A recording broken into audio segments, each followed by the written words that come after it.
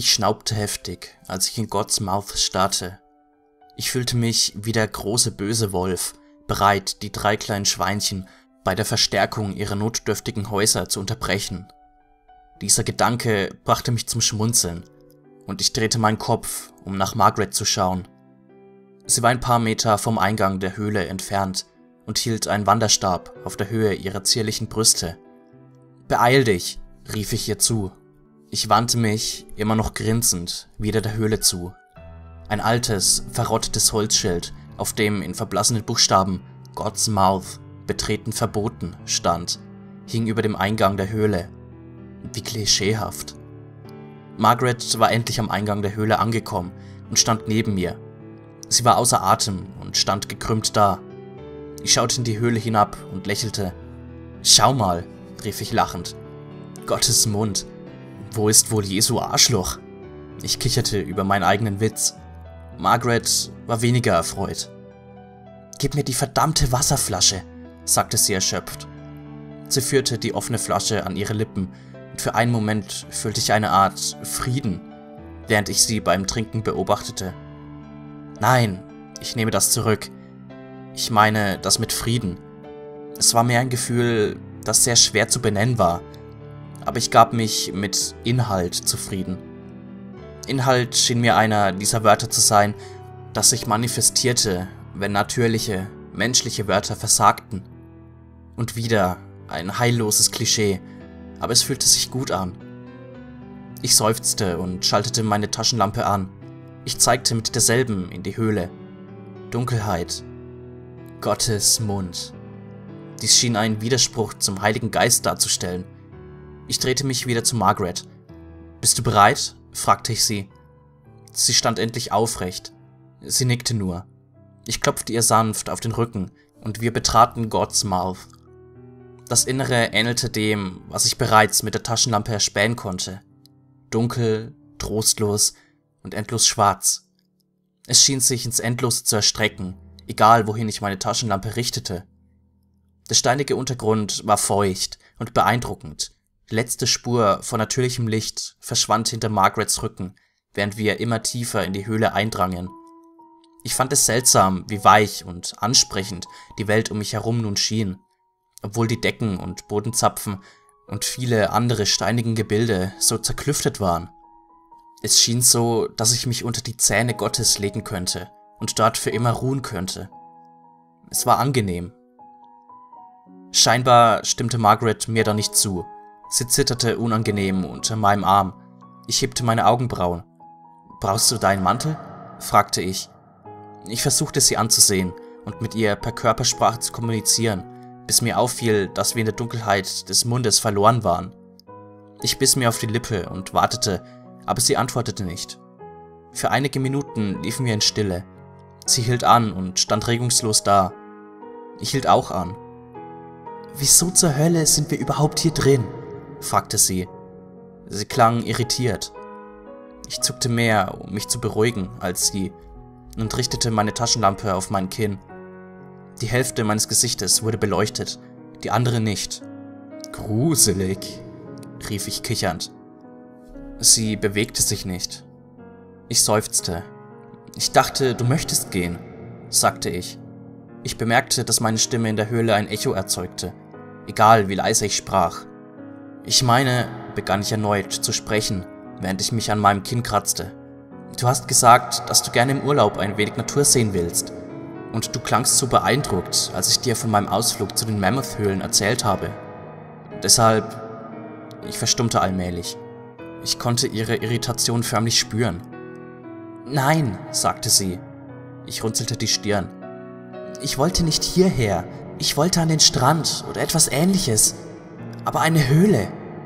Nein, eine Höhle, Nathan. Nun klang sie mehr wie der große böse Wolf. Ich weiß, dass du diesen seltsamen Fetisch hast, Höhlen zu erforschen, aber ich möchte da nicht mit hineingezogen werden. Versteh mich nicht falsch. Ich würde es lieben, einen Ausflug zu machen in die Natur, an die frische Luft. Aber das... Ich konnte förmlich hören, wie sie über dicke Luft gestikulierte. Das ist Höhlenluft, keine frische Luft. Diese Luft ist gärend. Außerdem ist das nicht illegal? Können wir nicht einfach gehen? Wir standen beide da. Das einzige hörbare Geräusch war die Spannung, die sich in der Luft aufbaute. Schließlich begann ich zu laufen. Ich hörte nicht, dass Margaret mir folgte, aber ich lief weiter. Nathan, sagte sie, bleib stehen, bitte bleib stehen. Also hielt ich an. Es tut mir leid, sagte sie. Ich konnte hören, wie sie sich mir näherte. Ich bin müde und es nicht gewohnt, herumzurennen und zu klettern. Ich bin einfach nur erschöpft. Ist schon in Ordnung, antwortete ich. Sie klammerte sich an meinen Arm. Welcher Weg führt heraus? Ich kann mich nicht erinnern. Margaret hielt ein. Keiner von uns beiden konnte sich daran erinnern. Irgendwie, in der Verwirrung unsererseits, habe ich vergessen, wohin wir uns bewegten. Idiot, dachte ich mir. Ich hätte mir ein gottverdammtes Seil oder irgendetwas, um Spuren zu hinterlassen, mitbringen sollen. Ich musste etwas tun, also ohne großartig darüber nachzudenken, drehte ich mich um 180 Grad und sagte, da lang. Wir liefen seit Stunden. Meine Füße fühlten sich warm und wund an. Ich konnte Margarets Stöhnen hinter mir hören. Sie hielt meine Hand fest. Ich fühlte mich schrecklich. Dies war alles meine Schuld. Dann fror ich an Ort und Stelle ein. Hey, sagte ich, streck deine Hand aus. Fass diesen Stein an. Ich konnte hören, wie sie den Stein betastete. Ist das nicht seltsam warm? fragte ich. Sie sagte nichts. Ich fing an, mich an der Wand vorzuarbeiten, die Wärme derselben im Rücken, während ich an ihr entlang schritt. Plötzlich fühlte ich einen scharfen Schmerz, als ich mich mit dem Kopf an der Decke von God's Mouth anstieß. Ah, scheiße, schrie ich. Nathan, geht es dir gut? fragte Margaret besorgt. Sie schien fast panisch. Mir geht es gut, entgegnete ich. Bitte beruhig dich. Wir sind hier bald raus. Ich verspreche es. Ich fing an, weiterzulaufen, richtete meine Taschenlampe an die Decke. Es schien, dass es enger wurde. Das war seltsam. Hör zu, ähm, Margaret, mein Schatz, sagte ich verbissen. Ich denke, wir müssen umdrehen. Margaret stöhnte neben mir. Wir liefen wieder eine längere Strecke. Ich richtete meine Taschenlampe diesmal nach oben. Ich war mir sicher, dass der Platz in der Höhle kleiner und kleiner wurde. Wenn es in God's Mouth außer meiner Taschenlampe noch irgendeine Lichtquelle gegeben hätte, hätte Margaret die Panik in meinen Augen gesehen. Wir waren komplett verloren. Ich ließ Margarets Hand los und begann fieberhaft meinen Weg an der Wand zu erfühlen. Nathan, nein, hörte ich sie schreien. Ich ging weiter. Wir mussten rauskommen. Wenn wir uns verirren würden, würde niemand uns finden. Ich tastete mich an der Wand entlang, bis ich abrupt auf eine Wand traf.